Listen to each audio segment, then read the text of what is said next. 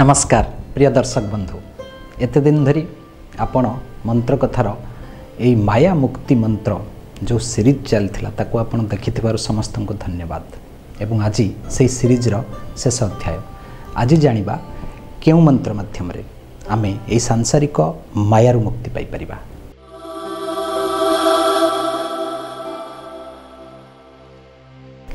ସାଂସାରିକ ମାୟା କହିଲେ ଆମ ଚତୁଃପାର୍ଶ୍ୱରେ ଯାହା ଘଟଣା ଘଟୁଛି ଯାହା ଅଛି ତାକୁ ଅନ୍ୟ ରୂପରେ ଦେଖିବା ଅନ୍ୟ ରୂପରେ ରୂପରେ ଆକଳନ କରିବା ଏହା ହିଁ ମାୟା। ଅର୍ଥାତ୍ ଆମେ ଯାହାକୁ ସାଂସାରିକ ମାୟା ବୋଲି ଭାବୁଛେ ପ୍ରକୃତରେ ତାହା ମାୟା ନୁହେଁ। ପ୍ରକୃତ ମାୟା ହେଉଛି ଆମ ମନ ସୃଷ୍ଟି କରୁଥିବା ମାୟାଜାଲ ବା ମନ ସୃଷ୍ଟି କରୁଥିବା ଗୋଟିଏ ମିଥ୍ୟାର ଜଗତ।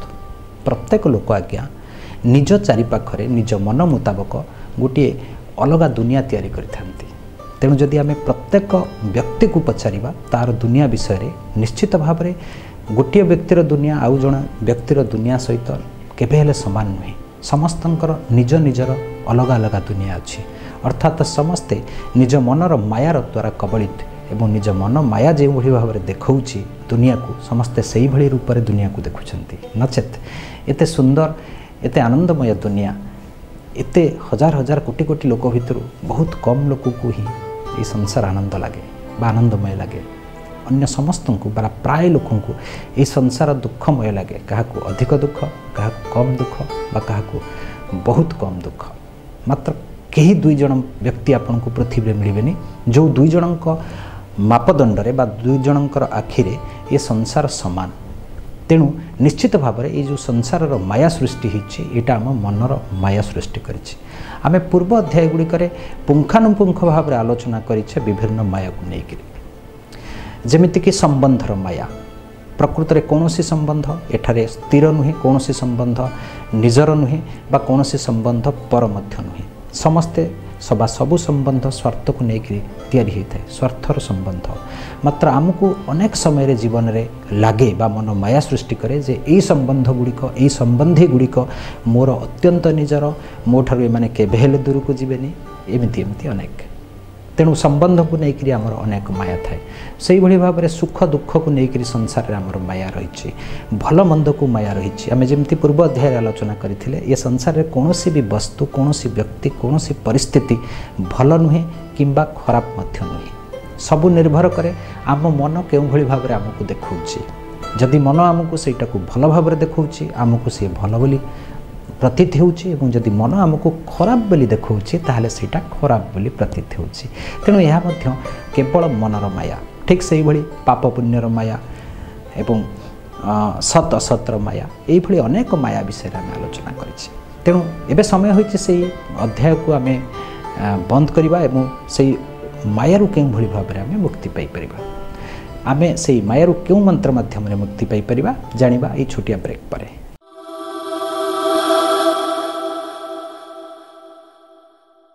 ଭୁବନେଶ୍ୱରର ଚନ୍ଦ୍ରଶେଖରପୁରରେ ଏକ ପ୍ରତିଷ୍ଠିତ କମ୍ପାନୀରେ ଡେଲିଭରି ପାଇଁ ବାଇକ୍ ରାଇଡର ଦରକାର।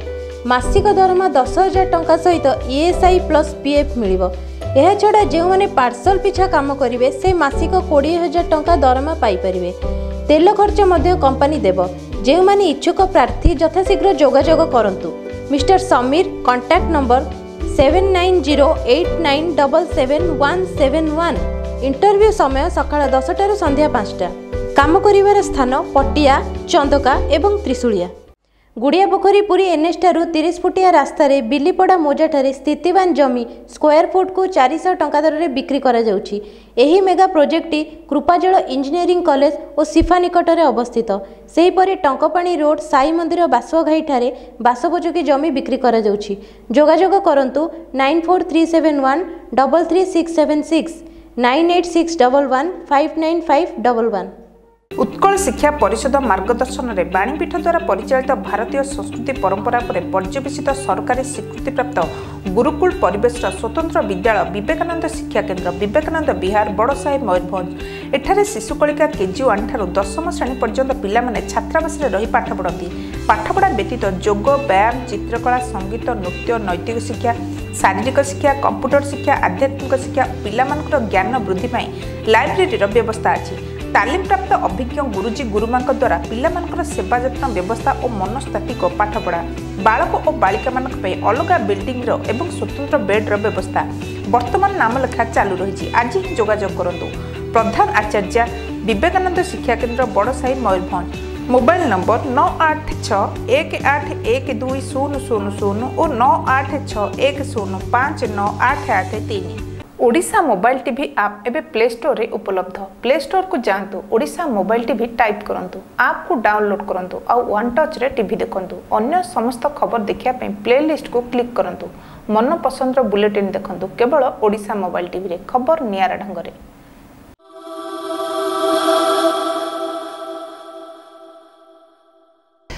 ବ୍ରେକ୍ ପରେ ପୁଣି ଥରେ ସମସ୍ତଙ୍କୁ ସ୍ୱାଗତ। ସାଂସାରିକ ମାୟାରୁ ମୁକ୍ତି ପାଇବା ପାଇଁ ପ୍ରଥମେ ମନ ଦ୍ୱାରା ସୃଷ୍ଟି ହୋଇଥିବା ମାୟାକୁ ଆମକୁ କାଟିବାକୁ ପଡ଼ିବ। ମନର ମାୟାକୁ କାଟିବାକୁ ହେଲେ ଆମେ ମନକୁ ବୁଝିବା ଦରକାର ମନକୁ ଜାଣିବା ଦରକାର ମନକୁ ଅନୁଶୀଳନ କରିବା ଦରକାର। କାରଣ ପ୍ରତ୍ୟେକ ମନୁଷ୍ୟ ନିଜର ମନ ଦ୍ୱାରା ଚାଳିତ ହୋଇଥାଏ ବା ମନ ହିଁ ମନୁଷ୍ୟକୁ ଅନେକ ମାତ୍ରାରେ ନିୟନ୍ତ୍ରିତ କରେ ଏବଂ ପ୍ରଭାବିତ କରେ।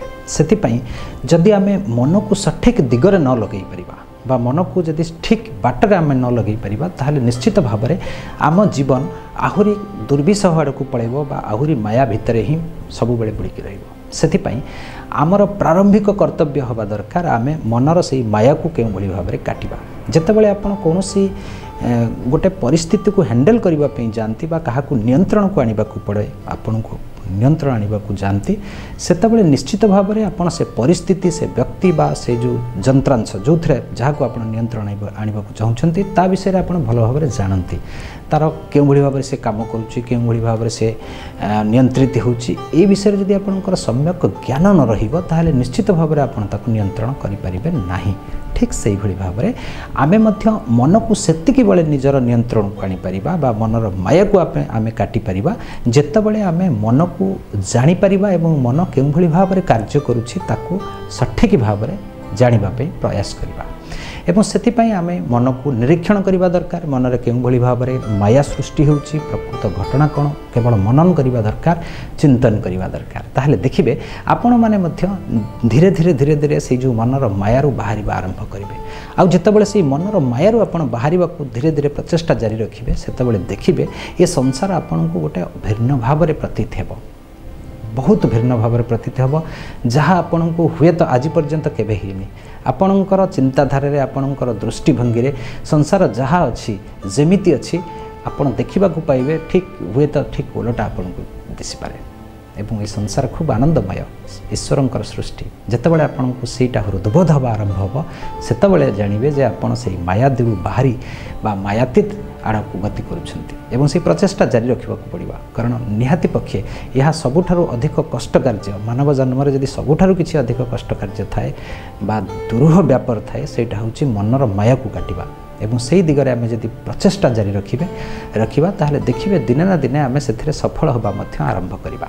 ଏବେ ଜାଣିବା ସେହି ମନ୍ତ୍ର ବିଷୟରେ ଯେଉଁ ମନ୍ତ୍ର ମାଧ୍ୟମରେ ଆମେ ଆଂଶିକ ଭାବରେ ଏହି ମାୟାରୁ ନିଜକୁ ମୁକୁଳିବା ପାଇଁ କିଛି ସଫଳ ହୋଇପାରିବା ମାତ୍ର ତା ସହିତ ଆମକୁ ଏହି ଦିଗ ପ୍ରତି ମଧ୍ୟ ଲକ୍ଷ୍ୟ କରିବାକୁ ପଡ଼ିବ ଯାହା ଆମେ ବିଗତ ଅଧ୍ୟାୟ ଗୁଡ଼ିକରେ ଆଲୋଚନା କରିଛେ ଆଉ ସେହି ମନ୍ତ୍ରଟି ହେଲା ଓମ୍ ନମୋ ଭଗବତେ ବାସୁଦେବାୟ ଓମ୍ ନମୋ ଭଗବତେ ବାସୁଦେବାୟ ଓମ୍ ନମୋ ଭଗବତେ ବାସୁଦେବାୟ ଆଜ୍ଞା ହଁ ମାୟାଧୀଶ ମାୟାପତି ଶ୍ରୀକୃଷ୍ଣ ବା ବାସୁଦେବଙ୍କର ଏହି ମନ୍ତ୍ରଟିକୁ ଆପଣ ପ୍ରତ୍ୟେକ ଦିନ ସକାଳେ ଏବଂ ସନ୍ଧ୍ୟାରେ ସାତଥର ନିୟମିତ ଭାବରେ ଜପ କରନ୍ତୁ ଦେଖିବେ ଆପଣ ମଧ୍ୟ ସେଇ ମନର ମାୟାକୁ ବା ସାଂସାରିକ ମାୟାକୁ କାଟିବାରେ ସକ୍ଷମ ହେବେ ଧନ୍ୟବାଦ